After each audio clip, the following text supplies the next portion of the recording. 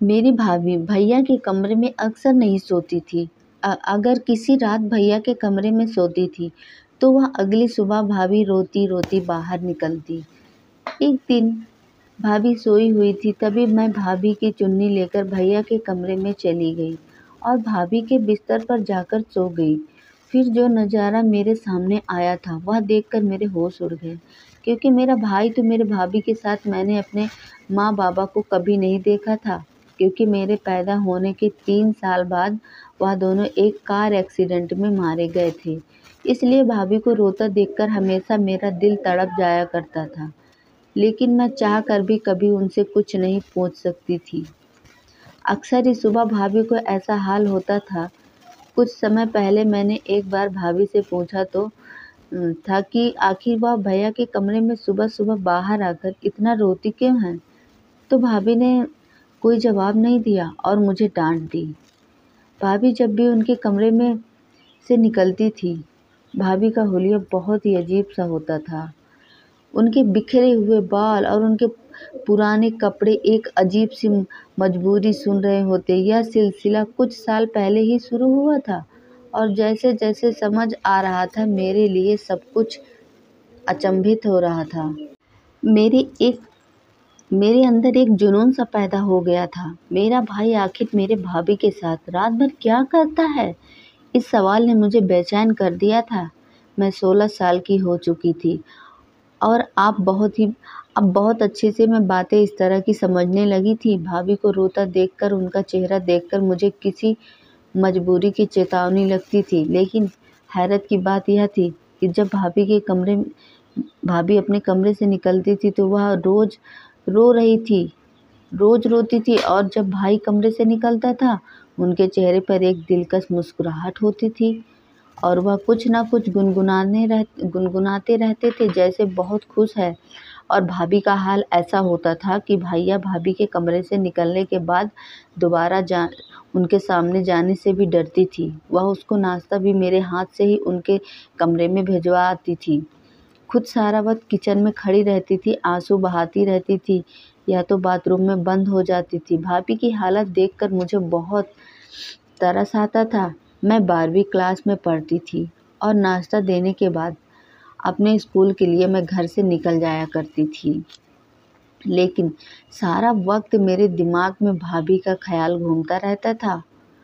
कभी किसी सुबह भैया परेशान या पहचान नहीं देखा था वह हमेशा ही बहुत खुश, कष्ट एकदम अच्छे से बैठे रहते थे। उनका चेहरा बहुत खुशी खुशी दिखता था, जबकि भाभी को देखकर ऐसा लगता था कि किसी पर भी भाभी को कुछ भी हो जाएगा। अक्सर मैं नाश्ता बनाते हुए भाभी के शरीर को कप कप कपाते हुए देखा था। अच्छी मेरी दिल चाहता चाहता था कि मैं भाभी से पूछ लूँ। भाई रात को उनके साथ ऐसा क्या करते हैं जो उनका इतना बुरा हाल हो जाता है? मगर भाई के नाम पर ही भाभी के चेहरे पर खौफ नज़र आने लगता था। भाभी हर रात भैया के कमरे में सोने के लिए नहीं जाती थी, बल्कि वह मेरे साथ ही सोती थी। कभी कभी ज़बरदस्ती भैया अपने साथ कमरे में ले जाते थे और भाभी मना करने की कोशिश करती थी, लेकिन भैया उनकी एक न सुनते थे। भैया की आवाज़ में मोहब्बत की ऐसी चाशनी खुली थी कि सुनने वाला भी हैरान रह जाएगा। लेकिन मैं अच्छी तरह जानती थी। भैया भाभी को कमरे में से जाकर यकीनन उनके साथ कुछ गलत करते हैं। किसी भी लड़की के लिए, किसी लड़की को रोना, तड़पना, देखना बहुत ही मुश्किल काम है। और मेरा भी ऐसा ही था। ना मैं पढ़ाई पर ध्यान दे पा रही थी और ना ही घर पे पूरा दिल लगा के मेरा काम में दिल लगता था। मेरा दिल चाहता था कि मैं किसी भी तरह अपने भाभी को अपने भाई के कमरे में जाने ना दूँ। लेकिन मैं किसी तरह भाई को तो मना लेती, पर मैं करती क्या? भाई तो मेरे सामने भाभी के साथ बहुत ही मोहब्बत से पेश आते थे। घर के मोहल्ले के भी लोग मुझे इस कदर परेशान किया करते थे कि इम्तिहान में बुरी तरह मैं फ़ेल हो गई थी। और भाभी को रिज़ल्ट नहीं बताया, लेकिन मेरे दोस्त हैरान थी क्योंकि मैं पढ़ाई में बहुत अच्छी थी। हर बार मुझसे पूछने लगी कि मेरा ध्यान कहाँ रहता है? मैंने उसे भाभी और भाई के बारे में बता दिया, तुम्हारे भैया अंग्रेज़ी फ़िल्में तो नहीं देखे? नहीं देखते हैं। शिवानी ने अचानक से सवाल किया। मैं हल्का मैं बिल्कुल से हल्का सा ना रुकी और अक्का बक्का से उसे मैं देखने लगी। फ़िल्म का भला क्या मकसद है? वह अलग निगाह से मुझे देख रही थी और मैं उनकी बात ना समझ पाई। उसने बात बदल दी। लेकिन मेरी सोई उनकी बात पर अटक गई थी। मेरी सोई उनकी बात पर ही अटक गई थी। आखिर शिवानी ने यह सवाल क्यों पूछा था? मैं घर पर, मैं घर से वापस आ गई तो भाभी के चेहरे का भाई चचेरे का भाई राघव अंकल बैठे हुए थे। वह दोपहर को हमारे घर आते थे। भाभी को, भाभी के बचपन से ही उन्हें बहुत अच्छी दोस्त थी। भाभी बताती थी कि वह दोनों बचपन में एक साथ रहते थे। फिर राघव अंकल अमेरिका चले गए और भाभ, और भाभी की शादी भाई से हो गई। भाभी की शादी को सत्रह साल हो चुके थे और कुछ साल पहले शायद सब कुछ ठीक था या फिर मैं ही छोटी।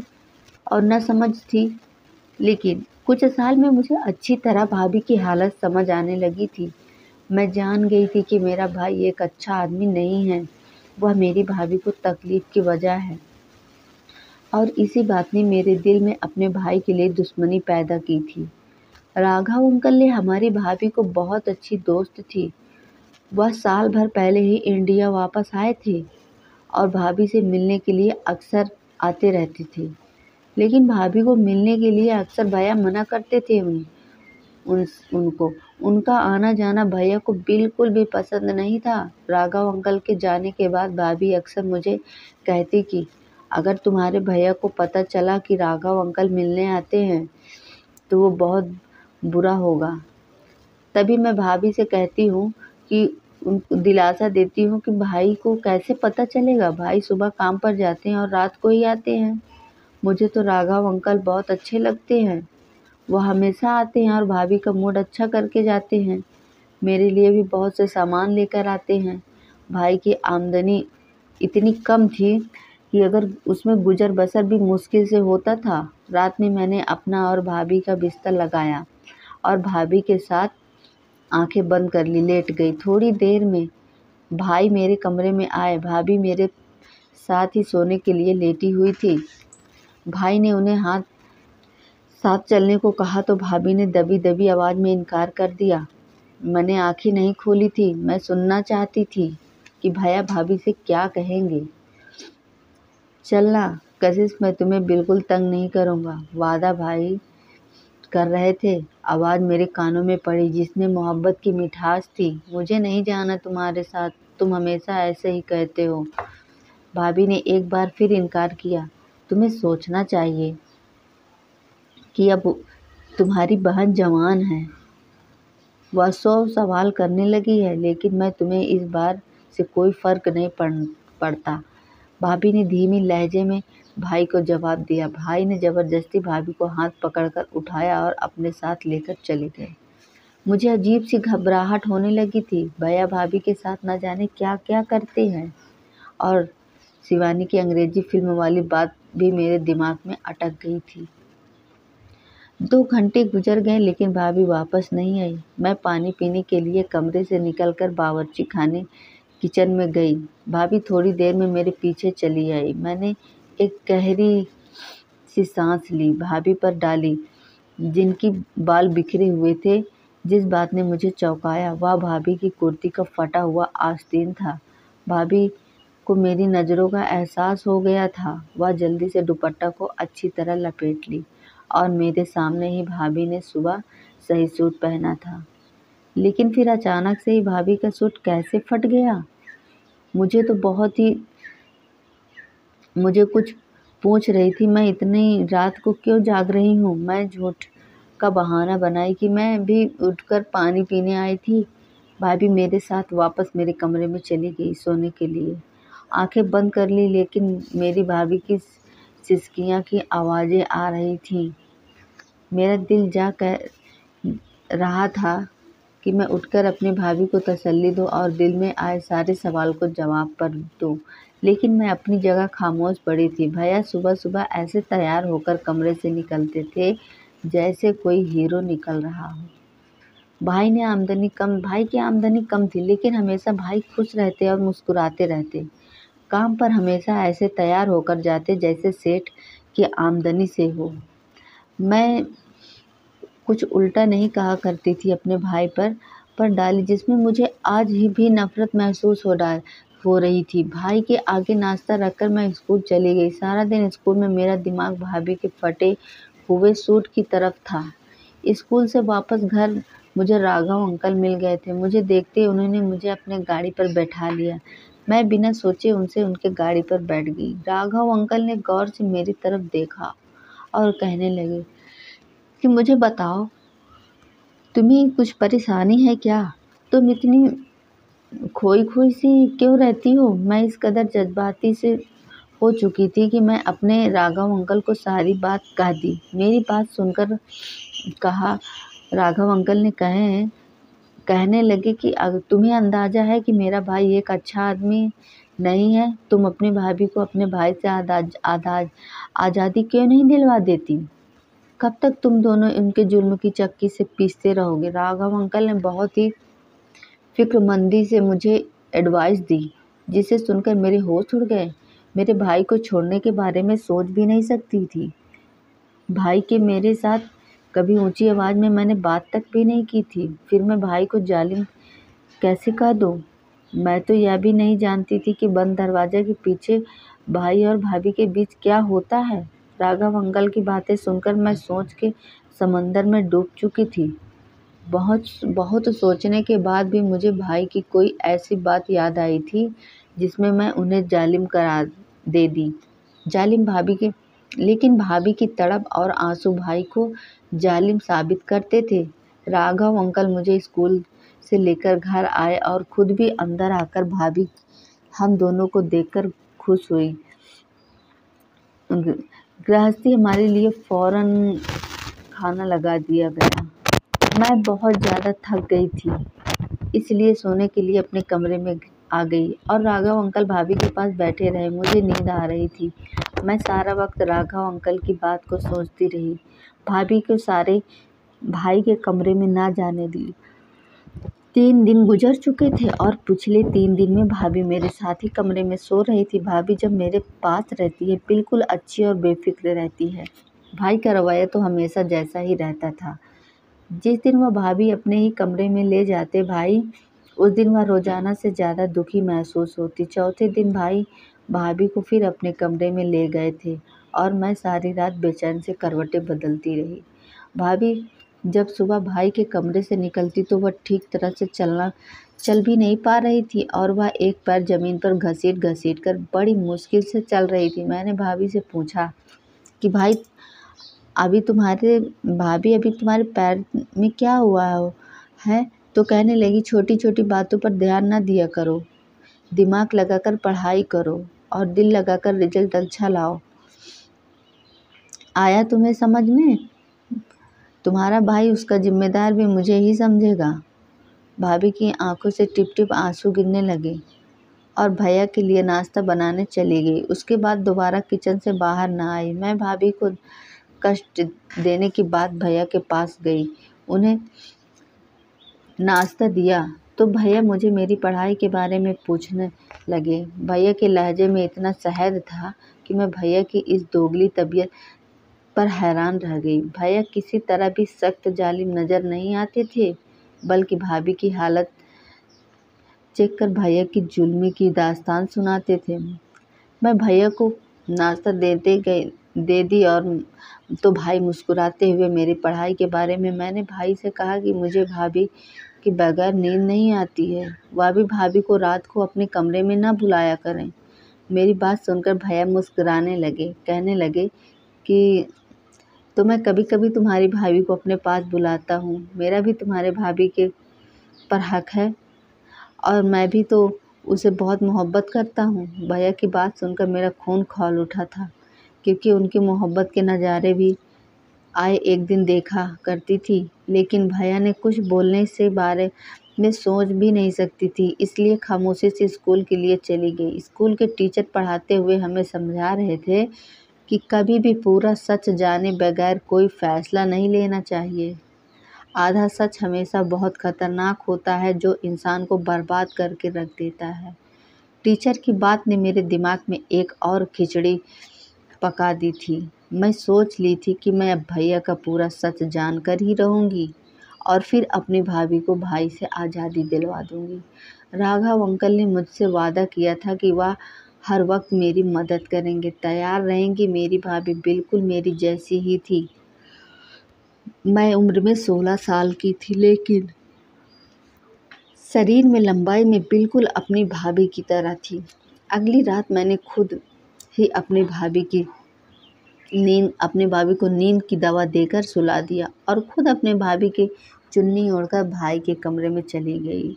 भाभी चुन्नी ओढ़कर भाई के कमरे में चल, जाया करती थी। यह कम, कमरे में एक छोटा सा बल्ब जल रहा था। भाई अंधेरे की वजह से मुझे भाभी बैठ गए थे और कहने लगे, मेरी खुश नसीबी आज तुम चलकर मेरे पास कमरे में आ गई हो। बहुत ही खुशी से कहते हुए मेरे अजीब आ, करीब आए, मुझे कंधों से पकड़कर अपने बराबर बिठा दिया। भाई के बराबर में बैठा मेरा शरीर काँप रहा था। मैं नहीं जानती थी कि उसके आगे मेरे साथ क्या होने वाला था, लेकिन आज मैं पूरा सच जानना चाहती थी। भाई बहुत मोहब्बत से कहने लगे, छोटी जवान हो रही है या कहकर तुम मुझे इस कदर दूर हो गई हो कि मुझे ज़बरदस्ती तुझे अपने कमरे में बुलाना पड़ता है?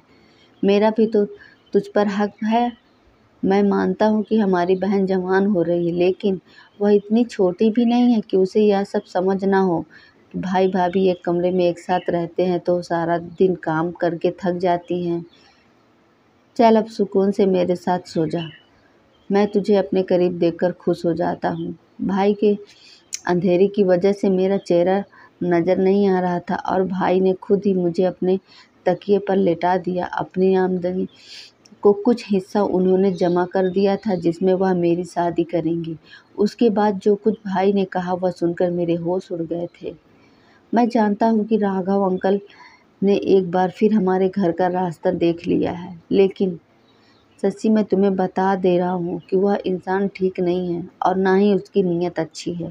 पहले भी एक बार तुम्हें बर्बाद करने की उसने कोशिश वह कर चुका है और अब तुम्हारे घर पर जवान बहन भी है। इसलिए वह अहमियत का दामन थाम ले कि भाई को कभी तक मालूम नहीं था कि वह मैं भाभी नहीं, बल्कि उनकी बहन हूँ। भाई बहुत आहिस्ता से मेरे बालों को हाथ फेर रहे थे और कुछ ही देर बाद भाई को नींद लग गई। काफ़ी देर तक मैं एकदम सीधे भाई के पास लेटी रही, लेकिन भाई तो कुछ बहुत गहरी नींद में सो चुके थे। मैं खामोशी से उठकर कमरे से बाहर निकल आई। भाई ने कुछ भी ऐसा नहीं किया था जिसमें मुझे कुछ भी समझ आता। इसलिए राघव, अंकल और भाभी को लेकर मेरे दिल में बहुत से सवाल पैदा हो चुके थे।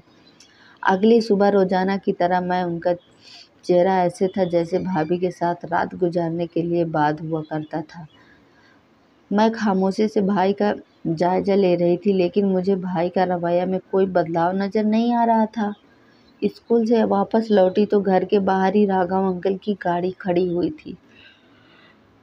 मैं हमेशा दूर से सलाम करके उनके घर में आती थी, लेकिन आज मैं चारों की तरफ़ दबे पाँव घर में घुस आई। भाभी और राघव अंकल मेरे कमरे में एक साथ बातें बातें, बैठ के बातें कर रहे थे। उन्हें मेरी मौजूदगी का एहसास नहीं था। जो कुछ मैंने अपने कानों से सुना, वह सुनकर मेरे होश उड़ गए। मैं सोच रही थी कि वह जब सच जिसे जानने ने, जानने के लिए मैं बेताब हो रही थी। इस कदर भयानक है। भाभी राघव अंकल से हंसकर कह रही थी कि मैं अपनी नंद के लिए, मैं उसके भाई के खिलाफ पूरी तरह नफ़रत का बीज बो चुकी हूँ। और अब वह दिन दूर नहीं है जब मेरी नंद अपने भाई के खिलाफ खड़ी हो जाएगी। वह ज़बरदस्ती मुझे अपने साथ इस रिश्ते से बाँध कर रखी हुई है, लेकिन अब मैं आज़ादी चाहती हूँ वह मुझे कमरे में लेकर जाता है और मुझसे बातें करते करते ही सो जाता है। लेकिन जैसे ही मैं बाहर निकलती हूँ तो मैं अपना हुलिया खुद में ख़राब कर लेती हूँ। मैं छोटी के दिल में यह बात अच्छी तरह बिठा दी हूँ कि उसका भाई मुझ पर जुल्म करता है। एक दिन तो मैं खुद ही अपने सूट का आस्तीन का तक फाड़ डाला। मैं चाहती थी कि कि जब मैं उसे आज़ादी की बात करूँ तो मेरी नंद मेरी ढाल बन जाए और मुझे अपनी नंद को छोड़कर उसके घर से जा निकलना पड़े। छोटी तो दुनिया में मेरी मौजूदगी और अपने भाई के जुल्म की दास्तान सुना देगी और मैं छोटी को लेकर तुम्हारी ज़िंदगी में शामिल हो जाऊँगी। राघव अंकल हँसते हँसते कहने लगे कि हाँ मैं छोटी को भी यह कह दिया हूँ कि जब भी मेरी मदद पड़े, ज़रूरत होगी, मैं चला आऊँगा। तभी राघव अंकल ने कहने लगे कि पहले ही तरह तुम मेरे साथ बेवफाई न करना। एक बार पहले भी तुम मुझे बीच रास्ते में छोड़कर चले गए थे। उसी वक्त मेरे पति ने मुझे माफ़ कर दिया कि उन अम, कि अपना लिया था अपना लिया था उसके बाद। राघव अंकल ने मेरे भाभी का हाथ पकड़कर कहने लगे कि मैं बहुत मजबूरी में तुम्हारा साथ छोड़ा था क्योंकि मेरे घर वाले इस बात से बिल्कुल खिलाफ थे। कि मैं एक शादीशुदा औरत से रिश्ता करूँ। लेकिन अब मुझे रोकने वाला कोई नहीं है मेरा मैं पूरा दिल से मैं तुम्हें अपनाऊँगा और तुम्हारी नंद को अब अच्छे दामों पे अमेरिका में भेज देंगे बस छोटी से किसी तरह यह सच पता ना चले और उसका हम अच्छे से जालिम नहीं, बल्कि हम उसे जालिम साबित करना चाहते थे। एक छोटी सी हम दोनों की एक करवा सकती है। भाभी के राघव अंकल नो अंकल ने यकीन दिला दिया था कि जब यह वैसे ही होगा, जैसे उन दोनों ने सोचा था। वह खुद हँसते हँसते थक चुकी थी और मेरे कदमों तले ज़मीन निकल गई थी। भाभी मेरी सिर्फ़ मुझे ही नहीं, बल्कि मेरे भाई को पूरी तरह धोखा दे रही थी। और वह मेरे भाई के घर में बैठकर एक दूसरे आदमी के साथ मिली हुई थी और नए रिश्ते की बातें कर रही थी। भाई, मुझे भाई की बात याद आ गई थी। राघव अंकल ने पहली बार ही हमारा घर उजाड़ने की कोशिश की थी। बहुत कुछ जान चुकी थी, इसलिए कमरे के अंदर दाखिल हो गई। देखकर भाभी और राघव अंकल चौंक गए। लेकिन थोड़ी देर में उन्होंने अपने आप को काबू पा लिया। राघव अंकल ने मेरी तरफ़ चॉकलेट बढ़ाई। मैं चॉकलेट पकड़ने के बजाय भाभी की शक्ल देखी और सख्त लहजे में भाभी से पूछा कि आप को मुझे बताना पड़ेगा आखिर आपके भाई से क्या मामला है? भाभी जान चुकी थी कि वह उनके झूठ का पोल खुल चुका है। इसलिए बिना कुछ ही बोले भाभी ने मुझे सारा सच बता दिया। भाभी शादी से पहले राघव अंकल से मोहब्बत करती थी, लेकिन राघव अंकल ने उनसे शादी करने के बजाय अमेरिका जाकर नौकरी करने लगी और भाभी की मोहब्बत छोड़कर अपना कैरियर बनाने लग गए। थे बचपन में ही मोहब्बत में अपना रंग कच्चा न होने दिया और भाभी के दिल में राघव अंकल की मोहब्बत का रंग बस गया था। भाभी के घर वाले ने भी भाभी के लिए कोई पसंद कर लिया था। भाभी जवान और खूबसूरत थी, जबकि भाई उम्र में नौ साल बड़े थे और भाई साहब सांवली शक्ल सूरत के थे। मालिक ने राघव, जबकि राघव अंकल हैंडसम थे। भाभी के लिए भाई का रिश्ता घर वालों की मर्ज़ी से हुआ था। भाभी ने ऊपर अपने घर वालों की ज़बरदस्ती पर भाई से शादी कर ली थी, लेकिन वह अभी भाई को दिल से अपना नहीं पाई थी। ज़बरदस्ती का यह रिश्ता भाभी के लिए किसी बोझ की तरह था, लेकिन अब भाभी इस रिश्ते को किसी तरह चला रही थी कि तभी भाभी की शादी मेरे भाई से हो गई थी। मेरे समझ में नहीं आ रहा था, अब मैं करूँ क्या? मैं एक दिन भैया से सारी बात बता दी, लेकिन वो मानने को तैयार ही नहीं थे। उन्होंने मेरे बात पर भरोसा किया। वो ऑफ़िस जाने के लिए तैयार हो गए। और वो घर पर ही छुप गए। दोपहर में राघव अंकल जब घर पे आए, आ गए थे तभी भाभी की सच्चाई उनके सामने आ गई थी और भैया ने भाभी को छोड़ दिया।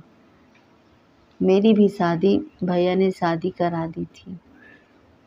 धन्यवाद। अगर ये कहानी अच्छी लगी हो ना तो चैनल को सब्सक्राइब करना ना भूलें और बेल आइकन को प्रेस कर दें ताकि मैं ऐसी स्टोरी आप तक पहुंचाती रहूँ। धन्यवाद।